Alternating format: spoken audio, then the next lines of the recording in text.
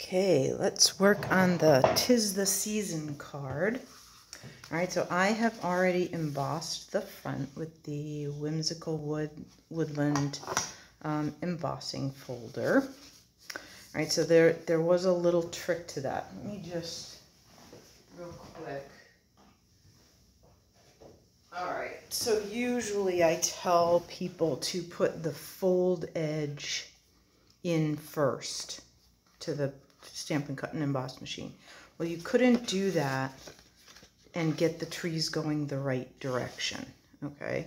So what I'm telling you to do is line up at the score line, okay? Have your paper this way, turn it this way, have this be your lead edge.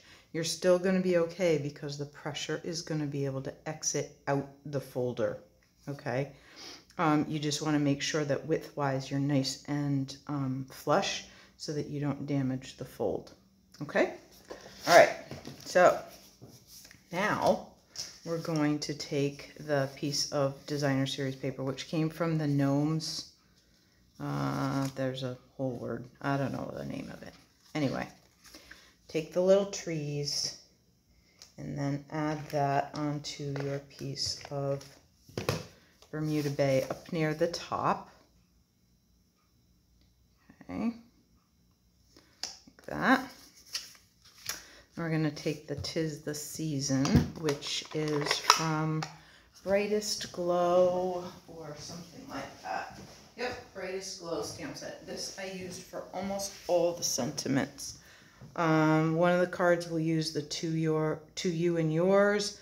One uses the Merry Christmas, the Tis the Season, and the Joy. Okay, so I used a lot of these. It's a great stamp set. All right, so we're just going to ink that up in Bermuda Bay ink and stamp it on the little, um, this is the scalloped oval from the double oval punch. Okay, and then we'll take the sponge and you may or may not know this, but the more vertical you stay with the sponge, the narrower in it stays.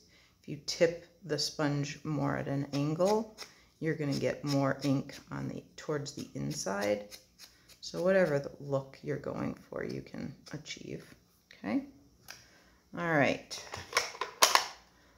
So let's start assembling. So this layer goes on with just adhesive. Okay. Like that.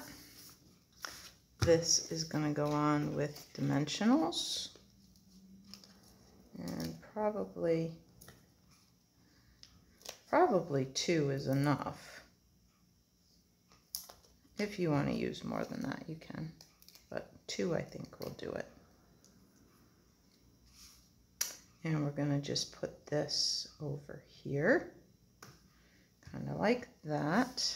Then I'm going to take some of these champagne rhinestones and I take your pick tool and I'm just going to make a little row of three down here in this corner. Okay.